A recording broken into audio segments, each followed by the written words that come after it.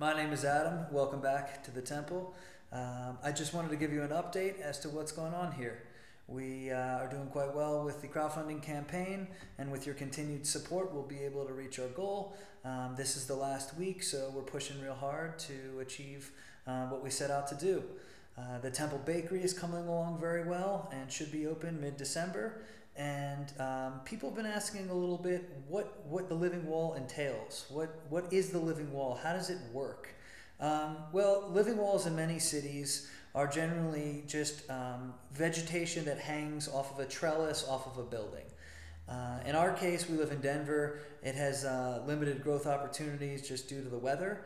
And so, in order to make the living wall exciting and applicable for Denver, Colorado, people have been asking me what the living wall is and what it's going to look like and how our living wall might differ from other living walls in other cities.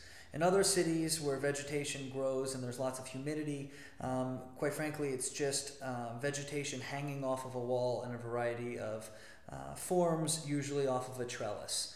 Uh, here in Denver, Colorado, um, due to our weather and things along those lines, what we're trying to do is put the emphasis on the actual artistic merit of the living wall.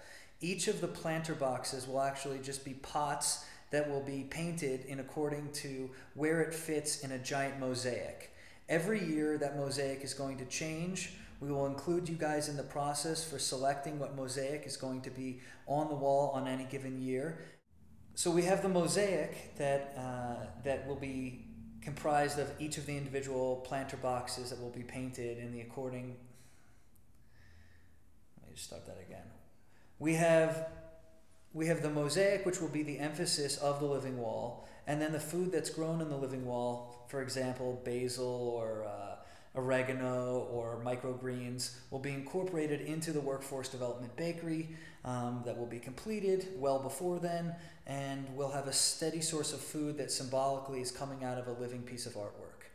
With your help we'll be able to achieve our goal. We'll be able to complete the living wall. We're already at the point where uh, the bakery is planning on opening on time and uh, anything you can do to help, we would be happy to have your participation, whether it's through financial contributions, spreading the word, or involving yourself um, in the process.